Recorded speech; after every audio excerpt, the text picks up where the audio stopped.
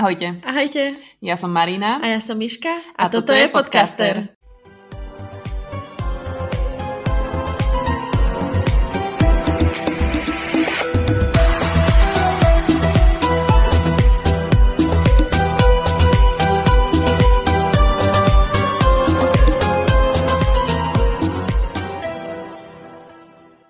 Veľmi pekne ďakujeme sponzorovi tejto časti beaushop.sk. Nájdete tam okrem krásnych voňavých sviečok Charmed Aroma v štýle Harryho Pottera aj iné produkty pre krajší život. Ďakujeme. Ďakujeme. Ahojte. Ahojte. Vítajte pri našom silvestrovskom špeciáli, špeciálnom špeciáli. Poslednom videu tohto roka. Riadne rýchlo to ubehlo. Veľmi. No dobré. Ale akože nie len z pocitu pracovného, čo sa týka podcastu, uh-huh. ale aj celkovo ten rok, že Všeobecne. Hej, a teraz nad tým rozmýšľam, že a rovno premostím na našu prvú otázku, ktorú ste nám poslali. Prišlo veľa otázok. Budú v budúcom roku vychádzať diely podcastu častejšie? Teda vrátim sa k tomu, čo som chcela povedať. Ano. Je, že aj tým, že sme mali zase tú našu letnú pauzu a uh-huh. nezvládli sme si pripraviť na tú našu letnú pauzu nejaké veci, čo by mali akože vychádzať, uh-huh. tak napriek tomu mám pocit, že sme tento rok vydali strašne veľa podcastov a videí oveľa viac videí, uh-huh. určite ako predošlý To určite, no to určite. Že viac sme točili a asi to bolo aj tým, že som už bola tu. Mám asi pocit. Áno. Že sme asi mali áno. viac času si to naplánovať, stretnúť sa, oveľa lepšie sa nám pracuje, keď sme spolu podľa mňa.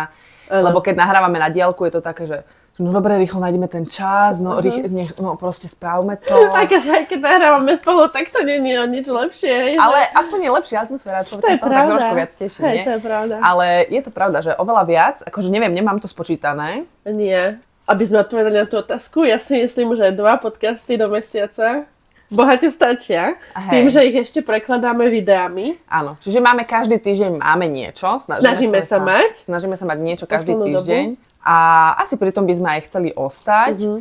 Tak to by som povedala. Keď by sa z tohto podcastu stalo niečo, čo by nám aj vracalo späť to, čo do toho dávame finančne, tak možno by sme mali čas tvoriť toho viac. A to môžeme premostiť na ďalšiu otázku, ano. kde nám Adriana, pozdravujeme, píše Klobúk dole za to, že robíte kvalitné a zaujímavé videá, aj keď nemajú vysoký počet sledovateľov. Vravím si, je to hejt alebo pochvala? ja som Miške povedala, že to je pochvala a je to aj zároveň uh, naša realita. Hej. Aj keď ja si myslím, um, určite by sme chceli na YouTube, aby nám trošku no. narástli tie čísla, Hej. lebo s YouTube je to tak, že vy tam vidíte tie reklamy, ale my z toho nič nemáme, lebo máme málo sledovateľov. Áno, vidia reklamy, lebo ja Áno. mám to premium, čiže... Ja, ja mám to... premium, ale keď Aha. si to pustím cez podcastera, Aha tak sú tam reklamy. Aha, okay. Hej. No ja sa musím priznať, že ja som tento rok mala také, že o, nerobme toto, nerobme tamto, lebo to stojí veľa peňazí a mm. veľa času. Hlavne keď som mala veľa roboty, teraz tento posledný... Mesiac a pol? Dva asi. Dva. Hm. A Marinka chcela ešte tamto kúpiť a tamto zaplatiť a hento do toho dať peniaze, ale ja som úprimne povedané bola taká, že strašne veľa sme už teraz do toho investovali. Je to pravda, no. A strašne veľa času do toho dám. Ja viem, že vy to nevidíte, že vy vidíte iba to jedno video za týždeň. Ale pre nás sú to proste hodiny príprav, hodiny točenia, hodiny strihania, hodiny editovania, hodiny vymýšľania, vymýšľania plánovania. plánovania, dávanie to, aj ten, iba to uploadnutie trvá proste asi hodinu, kým napíšeme popis, kým prosto vymyslíme titulku. titulku Hej, že ono, ono je to strašne veľa času, mm-hmm. ktorý keď si vezmeme, že keby som pracovala za reálne peniaze pre napríklad iného klienta, tak mi to zarobí dosť. dosť hej. Je prav... no, ty si mala takú krízu a aj mňa nahnevala um, situácia, ktorú sme mali s programom, cez ktorý sme boli zvyknuté nahrávať, ktorý sa rozhodol, že sa spoplatní.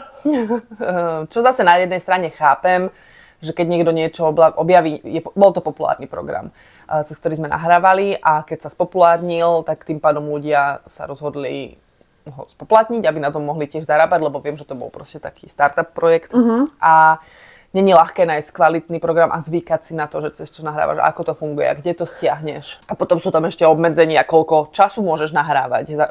Tuto sme mali neobmedzený čas nahrávania a potom zrazu ti dajú dve hodiny mesačne a náš podcast má väčšinou do hodiny, nie? Postrihaný. Je postrihaný, ale nahrávanie je aj dve hodiny, mm-hmm. hej reálne, reálne. Čiže by sme to vyčerpali. Čiže toto sú také, také polienka na ceste, ktoré, mm. ktoré keď si povie človek, že, že vlastne či mu to za to stojí, Určite nám to za to stojí, za, za vaše reakcie, za to, uh, aký ste super fanúšikovia. a stále nás to baví, stále je to naše hobby, ale tým, že je to naše hobby, že nám to nezarába, tak prosto si nemôžeme dovoliť na úkor našej práce, ktorá nám platí účty a živí naše deti, robiť niečo viac pre niečo, čo... Čo proste je hobby, ktoré Hej. robíme preto, aby sme mali nejaký outlet kreatívny náš. Áno, ale slobujeme vám, že keď nás pozdielate a proste vyrastieme, lebo ono to nie je len o nás. Ono, my rastieme navzájom spolu s vami.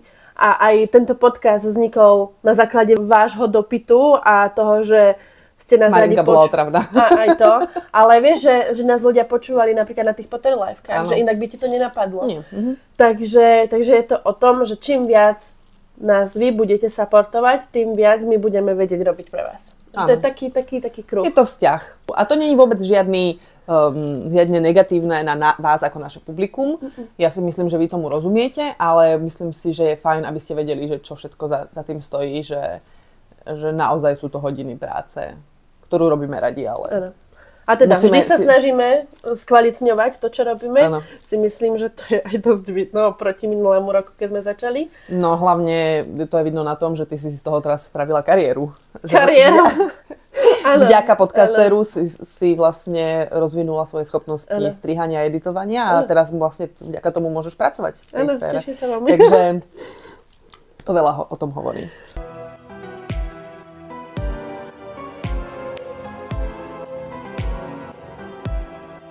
Nechcú sa vaše deti hrať s vašimi zbierkami? Predsa len sú to hračky. Kto by sa nechcel? to je dobrá otázka, to sa mi páči. Uh, ja poviem takto, mm-hmm. že ja som mala, za, začala zbierku teda neskôr a keď sme začali chodiť k Myške, tak moja mala veľmi bola lákaná, skúšaná uh, Myškinou zbierkou, mm. ale Myška jej to perfektne vysvetlila. Tvoja dcera to chápala od malička, lebo s tým vlastne vyrastala mm-hmm. a tým pádom chápala vaše pravidlá, lebo to bolo denné, denný život. Moja dcera to musela pochopiť trošku postupnejšie. Ale pochopila. Ale pochopila. A tým pádom, keď som začala ja svoju zbierku, tak ja napríklad zase nemám problém s tým, že chytá sa popiek. Um, ja s tým mám veľký problém. Čiže ona vie, že môže sem sem tam prísť a má obľúbenú Hermionu. Čo som mala problém je, keď začala mi presúvať veci, keď začala zhadzovať veci, keď padla na skriňu a zlomila ju a ublížila si. Takže teraz už vie, že tam veľmi chodiť nemá. A urobila som aj to, že som jej napríklad kúpila jej prútik, jej popky. Bola to cesta, ale chápu. Jej, maminka, ty máš svojich Harry Potter plišákov. Oh. A dostala som od mojej mamy vlastne takto handmade urobené. Našla nejakú pani, ktorá toto robí. To je Ron toto, hej. To je Ron, hej, uh-huh. s takými žltými vlastne, ale akože ryšavými. Harry a Hermiona. A moja dcera, že proste, jej, ty máš svojich plišákov, tých si dáš na poličku. Chápe, že to je hračka, ale nepýtala si, aby sa toho mohla ona chytať, lebo vie, že tie, to je tvoje Harry Potterovské. Uh-huh. Takže vravím, že proste rešpektuje to, už to chápe a bolo to iba o komunikácii a o učení. Ja si myslím, že je to tak, že keď tým deťom zadáte pravidla a hranice, ktoré dodržiavate a vy z nich neustupujete, tak tie deti sa jedného dňa naučia, že je to proste pravidlo, ktoré sa dodržiava len to chce strašne veľa času a strašne veľa úsilia a strašne veľa opakovania sa, že toto je moje, toto sa nechytá, toto je na ozdobu. Napríklad moja dcera má teraz takú, také obdobie, lebo som prerábala poličky a tá trojková polička je nižšia ako bývala a tam je tá... Áno, ale je tam tá guľa mm, kryštálová. Trile, áno. Mm-hmm. A jej sa tá guľa veľmi páči. On, ja neviem, prečo sú moje deti zaťažené na lopty a gule. a teda jej sa to veľmi páči a ešte keď to zapneš a svieti to, tak ona je z toho hotová. A niekedy akože príde za mňa, že maminka, môžem si ju pozrieť, sľubujem, že ti s ňou nič nespravím. Samozrejme, spadla už niekoľkokrát. A vtedy, tak ja ju odložím na budúce, maminka. Dobre. ale vždy vie, že sa musí opýtať a ona bola strašne rozkošná, aj keď vlastne Melisku sme to učili, mm-hmm. že ale to je maminkine, to sa nechytá, Áno. toto nesmieš. Aj teraz to vlastne robí s bratom, že nie, to je maminkine, to nemôžeš, tu máš svoje hračky. Je to lákavé pre nich? Myslím si, že pre nás je to teraz už úplne prirodzené, že už nad tým ani nerozmýšľame, ano. ale chápeme, že, že pre vás to je také, že Jak to, že to je tá polička nedotknutá? Áno, o, mne veľa chodilo správ, keď mm. som bola tehotná čakala som prvé dieťa, že no veď počkaj, keď porodíš, zbierka pôjde do prdele. Ale všetko sa dá, keď sa chce. Tak, Ron Weasley. Vieš, čo ti tam chýba? Dumbledore. No, to som chcela, že zachytala som to. Snape, Snape, ale tých nemám a potom je Harry Potter, Harry Potter. No a rovno premostím. Prečo si Marinka myslí, že Dumbledore je záporná postava? Ideme sa zamotať. Ideme sa zamotať, podľa mňa, lebo to by sme tu boli veľmi dlho. Máme môžeme, veľa otázok. Môžeme ti podarovať jeden celý podcast o tom, prečo je Dumbledore záporná. Oh, to je bola dobrá titulka. Áno. Ja by som rada sa niekedy do toho určite ponorila, ale hmm. je to veľa takých drobných vecí, ktoré vidím u iných ľudí a keď o tom hovoria a iba by to tak akože klikne a že á, to dáva zmysel, á, to dáva zmysel. A že hm, prečítajme si o tomto a pozrime sa na tieto veci tak. Mm, ja nemyslím si, že je záporná postava, len si myslím, že robil veci mm, veľmi manipulátorsky. Ale to vieme. Však to aj Aberford hovoril, ano. že taký bol. Áno. A, a Čiže... nie som v tej skupine, že oh, pravý, pravý villain, že nebol Voldemort alebo Dumbledore, v tej skupine až nie som, ale si myslím, že veľa vecí robil preto, aby Harry ho dostal do nejakej pozície, aby Harry bol nejakou osobnosťou a nejakým spôsobom ho pripravoval, tak ako to povedal Snape, you raised him like a pig for a slaughter. Tak to si myslím, a aj Dumbledore sám povedal, že yes. Áno. A len si myslím, že ľudia dávajú priveľa kreditu Dumbledorovi. Tak ako dávajú priveľa kreditu Snapeovi. Poďme ďalej. Veľmi vtipná otázka, veľmi som sa zasmiala. Koho by si Marinka vzala za muža? Vieme, že Miška by chcela Bila. Ja som mala pocit, že sme to v tom podcaste spomínali, ale asi nie. Asi, možno, ale nepamätám si ani ja zvedavá som, čo povieš. Ja si myslím, že som povedala Rona. Áno? Mhm. Aj keď, dobre, možno teraz by som to prehodnotila po mojej fanfiction ére. Že aj, aj, aj, draka. Povedala draka Malfoja. ja si toho Rona, kebyže mám ostať pri tom, že ako sa postaví. To, že vo filmoch je Ron strašný trtko takého hlúpeho ho spravili. Nie? A on vôbec nebol taký, on bol proste vtipný a, a láskavý a starostlivý a vo filmoch z neho spravili takého... Ako z Ginny. No, to, o Ginny ani nehovorme. Ktorá postava je vám povahovo najbližšia? Možno skúste vybrať sebe a jedna druhej, či sa trafíte. Ú, dobrá otázka. Toto sme už tiež riešili keď sme mali tie rodiny, lebo ja proste Marinku vidím ako Persiho. Áno, máme tam. Marinku to vyslovne urazilo. tak trošku áno. Ale... Vykašľal sa na celú svoju rodinu. Nevykašľal, on to potom uvedomil a prišla sa ospravedlniť. Persi je tiež veľmi nedocenená postava, by the way. Mm, Lebo okay. v knihách mal vo veľa väčší priestor a bol oveľa, oveľa dôležitejší, ako sa zdalo. Mm. Keď to teraz akože premietnem v hlave, tak ono to možno bolo preto, lebo my sme spolu neboli tak často, vieš? Áno.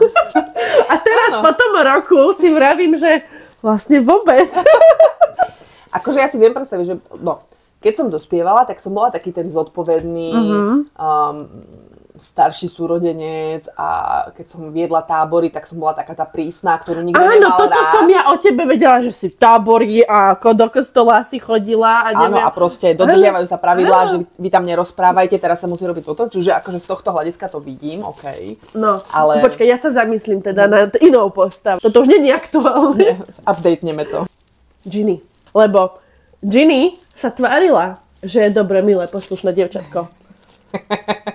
Ale keď prišla tma, tak to bolo. A vypijeme si. A poďme poza školu a poďme pod neviditeľný plášť a toto, hento a...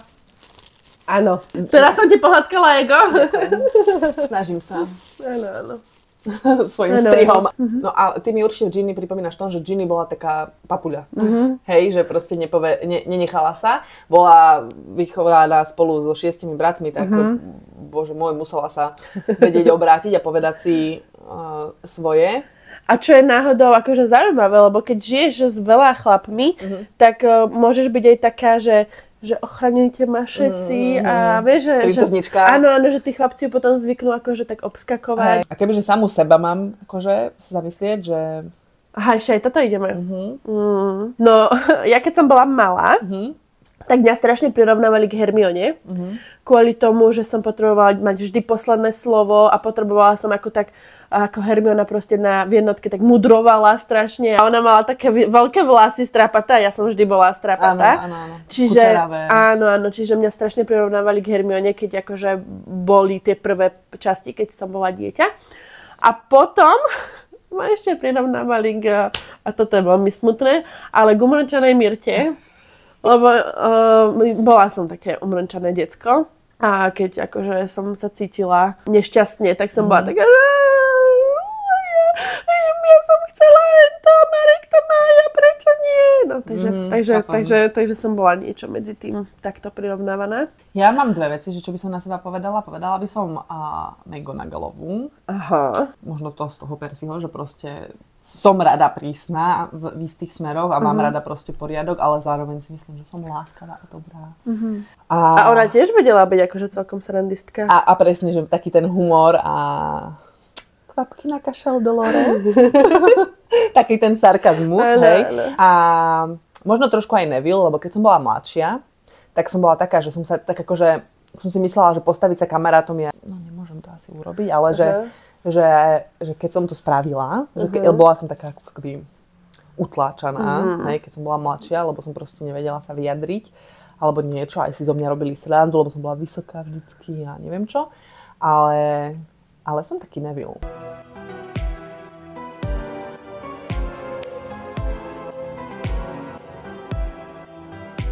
Bude v roku 2024 Potter Quiz na profile Podcaster.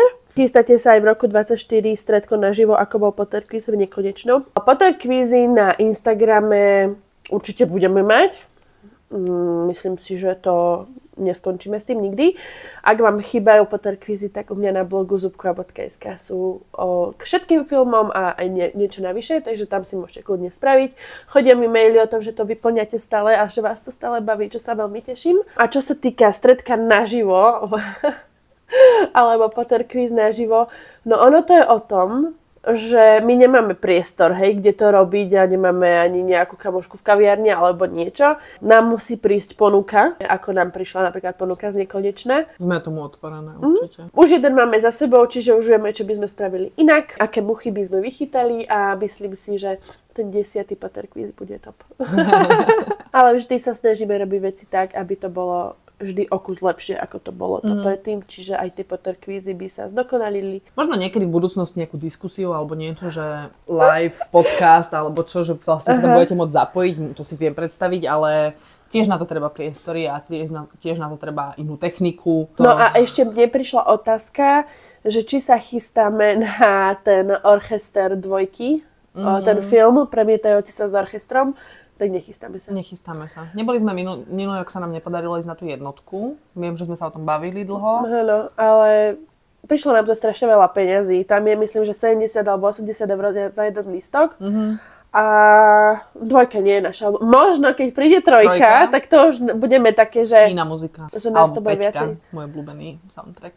Hej, Ale nie. Peťke veľa, veľa mm. dobrej hudby. Hej, veľmi veľa. Ale keby nás niekto pozve, tak Ideme. S ktorým hercom, herečkou z Pottera by ste išli na večeru? Dobrá otázka. Ja so žiadnym, lebo čo by som si s nimi povedala? Keby žil za Alanom Rickmanom. Oh. Ale keby som mohla ísť aj s Marinkou a ja by som tam iba sedela, nemusela by som nič povedať a iba by som sa dobre najedla tak povedz, a ešte by som mala aj zážitok uh-huh. s Emou Watson, lebo jej názory sa mi dosť páčia. Mm, to súhlasím. Čiže keby, že tam iba sedím a kúkam sa na ňu, aká je pekná a dobre sa najem a Marinka si s ňou pokecia, lebo ja by som sa strašne hámpila. Mm. Ja by som sa asi proste nedokázala, možno by som sa ani najesť nedokázala pri nej. Možno.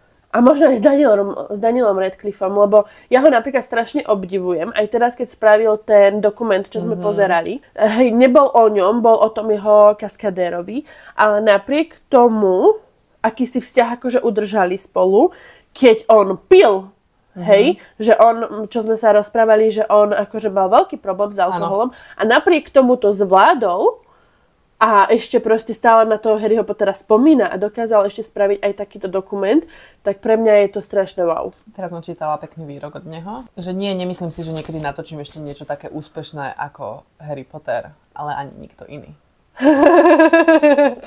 ja s, Danielom uh, by som sa určite rada stretla, sme ten istý ročník, čiže akože sme rovnaká veková kategória, Emma je o rok mladšia. Čiže so, s celým triom by som sa veľmi rada stretla. A Daniel je aj tak akože vizuálne pekný pre mňa. Nie ako ano. Harry Potter, ale ako on ako Daniel. Daniel. Čiže keby že si máme vybrať herca, s ktorými mm. by sme si zobrali, tak ja by tak som Daniela. Tak vyberem Rupeta Grinda. Fakt? ja by som si Daniela, ale mm. mne sa páči aj ako Tom Felton starne. Mm-hmm. Že Víš čo, podľa mňa mne sa najviac páčil Tom Felton uh, v tých jeho 20, okolo jeho 20 A s ním by som si tiež stretla, lebo on je stále veľký fanúšik. A Hej, to je S ním sa tak akože, mám pocit, že trio tak akože by bolo otrávené trošku rozprávať sa o Harry Potterovi. Tak potom nič. Že akože trošku tak potom také. s Tomom. Ale s Tomom by som sa stretla Hej. aj s Phelps Twins, uh, s chalármi, čo hrali Georgia a Freda, mm-hmm. by som sa stretla rada. A aj som uh, vlastne mala ísť v Prahe na taký ono to malo byť vlastne koncert filmovej hudby Harryho Pottera oni to mali ako keby moderovať, ale kvôli pandémii to bolo 20 krát preložené a nakoniec aj zrušené a nikdy sa to vlastne neudialo. Čo alebo kto vás inšpiruje vo vašej tvorbe? Mimochodom máte úplne úžasný Instagram a podcast. Ó, ďakujeme. ďakujeme. Kto alebo čo nás inšpiruje? Nikto.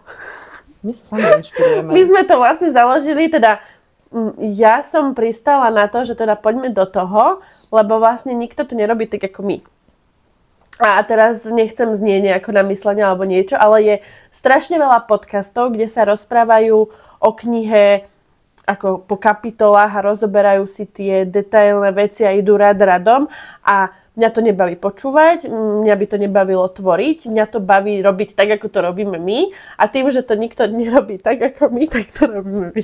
Áno.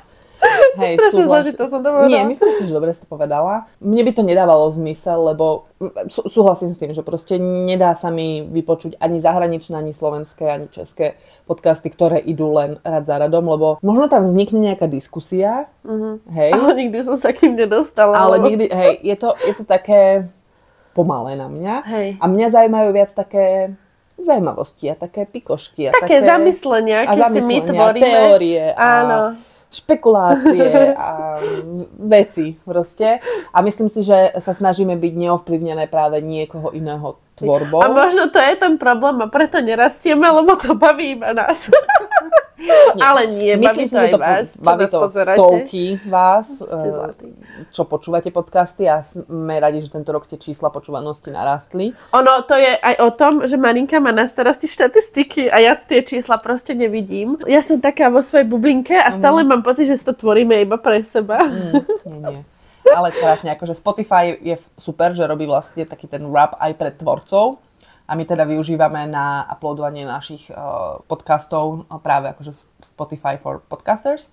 Takže máme krásne štatistiky z tohto. No mrzí nás, že ti Google Podcast, viem, že veľa vás počúva na Google Podcast, že to končí. A oni to ako keby presunuli pod YouTube. Uh-huh. Že my teraz všetky videá, ktoré nahrávame ako podcastovú epizódu, vieme zaradiť pod podcast a vlastne tam niekde, akože neviem, ako to funguje v reále, že ako si to vy vypočujete, to som si ešte nenaštudovala, ale viem, že ja už viem označiť podcast v rámci YouTube nahrávania ako podcast a tým pádom by mal byť niekde pod tým RSS kódom vlastne evidovaný, ale to musíme asi zistiť, že či to bude nejaká špeciálna YouTube aplikácia na to, alebo ako sa k tomu dostanete. A mrzí nás to, lebo viem, že často nám prišlo, keď sme sa pýtali, až kde nás počúvate, tak často bolo veľa odpovedí práve na tých Google Podcasts. Čo by vám podľa vás na Rockforte išlo najviac? Uú, mňa by bavilo, ja by som chcela, že keby som doštudovala, by som chcela byť tá, čo by vymýšľala kúzla nové dobre zistili, že smrťožlúti používajú takúto kliatbu, tak oni sa snažili vymyslieť protikliatbu. A, a chápem. Vieš, že proste vyvíjali uh-huh, vlastne, uh-huh. či už na liečenie, alebo aby mohli chápem. sa aj obrániť proti uh-huh. tomu, že napríklad obyčajná bombarda sa dá zablokovať protegom, ale potom smrťožlúti vymysleli niečo horšie ano. a už si to nevedel zablokovať protegom a museli si vymyslieť niečo. A toto sa mi páči, že také vlastne A to by si chcela robiť? Uh-huh. To by uh-huh. mohlo byť, že akože vymýšľať a zamýšľať sa nad tým. Čiže čarovanie. Aj transfigurácia môže byť fajn, že vlastne mm, potrebujem vankúš, tak tu z tohto kameňa si urobím vankúš, lebo som na úteku. A to by ti išlo? Neviem, myslím si, že hej. hej. No, Tam musí, podľa mňa, transfigurácia musíš mať dobrú predstavivosť. Uh-huh. Že vlastne ty si musíš predstaviť a ch- chcieť, čo chceš vlastne vytvoriť. Uh-huh. A tým pádom si myslím, uh-huh. že to by mi išlo. No mne by išla podľa mňa obrana proti čiernej magii, lebo to je také akčné a mm-hmm. nesedíš pri tom v lavici. A no elixíry by mi určite nešli, určite. lebo ja si vždy prečítam recept, až keď už je koláč v rúre. Ešte by ma podľa mňa bavili dejiny magie. Nie. No tak ja by som ti robila úlohy z dejiny magie Dobre. a ty by si mi robila úlohy z elixírov.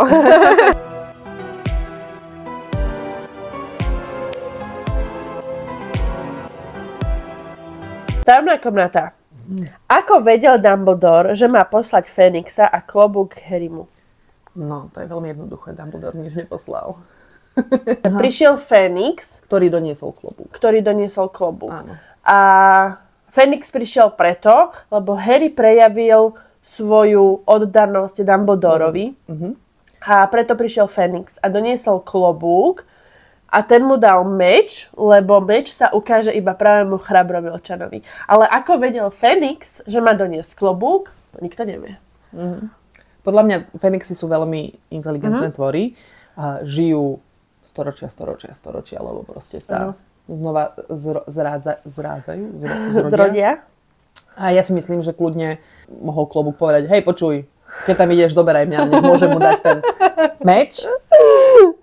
Lebo meč sa, ako by sa inak zjavil ten meč, Hej. akože neviem, že možno to, ale takisto to môže byť taká chybička v Rowlingovej písaní. Hej, ale akože viem si predstaviť, že tým, že išlo sa bojovať proti slizolinskému potomkovi, tak tam do, chceli doniesť ten chrabromovský meč, ktorý bol v- ukrytý akože. Áno. Takže, takže myslím si, že to bolo nejako takto prepojené. Niektorá magia není vysvetlená, musíme ju len akceptovať. No a myslím si, že by sme mohli uh, nejaké posledné dve otázky. Mhm, hej, hej, hej. Aký by bol podľa vás Sirius otec? Ó, Vzhľadom k tomu, že ani on veľmi podľa mňa nevedel, uh, nevidel tú rodičovskú, lásku.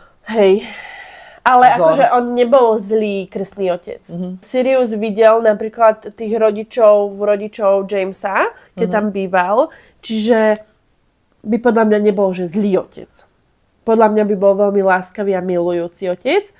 A bol by presne taký ten otec, ktorý robí tie blbiny so synom alebo s dcerou. A bol by aj taký, že, že tati, môže byť lietať na metle? Jasné. Alebo čo povedala tvoja mama? Alebo také. A máme to nehovor. Bol by akože vtip, zábavný otec Hej. podľa mňa. Dá sa na to podľa mňa pozerať z dvoch uhlov pohľadu, že aký by bol otec, keby nikdy neskončil v Azkabane a aký by bol otec potom, keby ešte mal deti po Azkabane, lebo to veľa strašne urobilo s ním, že podľa mňa aj to, aký bol k Harrymu, ľahko vážny a Myslíš podobne si, sa že ho nedá. zmenil Azkaban? Myslím si, že je to určite istý spôsob traumy, ktorý, ktorý Lebo ja Myslím si... si, že akože jeho povahu zmenil, Aha.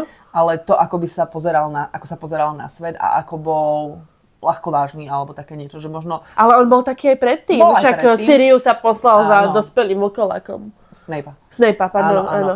Ale že myslím si, že určite proste niečo také je traumatizujúce, pobyt proste na takom mieste ako je Azkaban a že bol by asi iný otec, bol by možno opatrnejší v niektorých veciach, ale stále podľa mňa takéto gro toho, aký, akej láskavosti bol schopný, to tam by bolo stále rovnaké. Hej, ja si skôr na druhej strane myslím, že jeho s- nie obmedzilo, ale hnevalo, frustrovalo a bol taký nevrlý to, že bol zavretý na Grimaldovom námestí, viac Áno. ako to, že bol zavretý v Azkabane. Lebo keď Áno, bol zavretý v Azkabane, tak si myslím, že si to vravel, že zaslúžim si to, lebo kvôli mne zomreli Potterovci, bla bla bla. Mhm, chápem. Ale potom už keď vlastne bol vyliečený, alebo prosto už nemal tento mindset, lebo už za to mohol niekto iný a bol zavretý doma, v dome, ktorý neznášal, tak toho podľa mňa tak strpčilo. Mhm. Toto nie. Toto je strašne ťažká otázka. Koho zo záškodníkov by ste vrátili späť k životu a prečo? Veľmi ťažká otázka. Odmietam na túto otázku odpovedať. Koho by som... Nie. Kategorila. Odpoviem tak na tú otázku. Čo nie je odpoveď na tú otázku, ale Hej. to sa nedá. No dobre, ja by, ja by som vrátila Siriusa. Aby som, keďže môžem urobiť poradie, tak by som vrátila Jamesa Siriusa, Lupina v tomto poradí. Ja by som vrátila Siriusa, lebo Harry už vedel, aké je to žiť bez otca, mm-hmm. ale tá bolesť zo straty Siriusa, mm-hmm. ktorého si našla a hneď si stratila, to je mm-hmm. podľa mňa. Takže kebyže... Na druhú stranu si myslím, že možno by som vrátila viac Lupina ako Hej. Siriusa kvôli iba tedy. Rodine. Mm-hmm. Mm. Hej, chápem. Hej. Jedna pre teba. Mm. Bol by podľa vás z Draka a Hermiony dobrý pár? Hmm, dobrá otázka. Ako na to odpovedať jednoducho? Áno. Takto, Marinka, ak neviete, Marinka počúva veľa fanfiction posledný mesiac. Od oktobra. Od oktobra už, mm-hmm. to tak rýchlo prešlo. Mm-hmm. Za mojej hlave je to mesiac. Čiže pár mesiacov Marinka počúva fanfictiony, kde každej väčšinou je Drako s Hermionou. Áno, po, počúvam iba Dramiony momentálne, Aha. lebo iné ma zatiaľ nezaujímajú. Mala som teraz o tom storky, špeciálne mám to uložené na profile, ale sú teda rôzne kategórie tých fanfiction. Myslím si, že keby, že realita je, že sa vrátia späť do školy, um, čiže skončila vojna a musia sa ešte vrátiť do školy, je to 7 ročník, 8 ročník tam aj dokonca robia, že akože náhradný ročník alebo niečo. Nie, že to podľa mňa nie je realistické. Po vojne, veľa rokov, keď proste Hermione by nevyšiel teda vzťah a tak ďalej s, s Ronom, tak si viem predstaviť, že by si k sebe našli nejakým spôsobom cestu, že tak, ako som to čítala v tých fanfiction, to bolo celkom realistické. Mm-hmm. A tých temných, kde sú spolu, lebo Voldemort vyhráva, alebo proste tieto sú dobre napísané, je to uveriteľné, že prečo k sebe si našli cestu v niektorých. Tiež mi to realisticky nepríde. Najväčšia, najväčšia realita mi príde, že proste, že kde, kdyby to bolo, že áno, že 10 rokov po vojne stretnú sa, už sú není tam žiadne hard feelings, proste ospravedlní sa Drako a dozrel, proste je to vyzretá osoba, tak tam to viem si predstaviť úplne v pohode. Lebo to je proste taký ten najrealistickejší scénar, čo sa v živote stáva. Že môžeš s niekým, s kým si sa nenávidel v mladosti, ako deti, stretnúť sa. Sú o tom polovica romkom, uh, romantických komédií sú v nejakom takomto setape nie proste robené. Takže... Ďakujeme vám za otázky, prišlo ich strašne veľa a ja viem, že veľa sme ani neodpovedali, ale... Nemôžeme tento diel 20 hodín. Ale teda snažila som sa vybrať tie, čo sa najčastejšie opakovali alebo ma nejakým spôsobom zaujali.